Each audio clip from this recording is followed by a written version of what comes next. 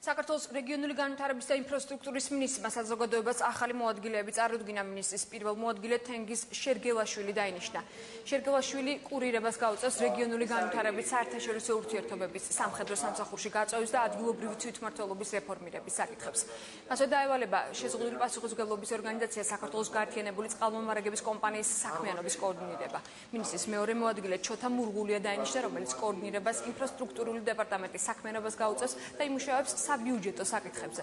უახლოეს დღეებში კიდევ ერთი მოადგილის ვინაობა გახდება ცნობილი, რომელიც ინფრასტრუქტურულ პროექტებზე იმუშავებს.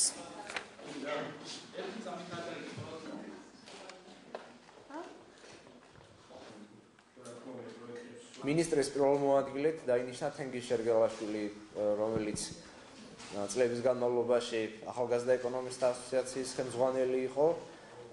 ის მუშაობდა თვითმართველობებთან და დეცენტრალიზაციასთან დაკავშირებულ საკითხებზე არის კონცეფციის ავტორი. ხოლო რაც შეეხება მინისტრის მოადგილეს, ეს იქნება ბატონი შოთა მურღულია, რომელიც ბოლო წლებში სტრატეგიული კვლევის და განვითარების ცენტრში მუშაობდა. საქართველოს თავრობისთვის ძალიან მნიშვნელოვანია რეფორმები დეცენტრალიზაციის მიმართულებით. ეს აისახა სამთავრობო პროგრამაში, აისახა პრემიერ-მინისტრის გამოსვლაში, როდესაც პარლამენტი უცხადებდა ახალ თავრობას დობას.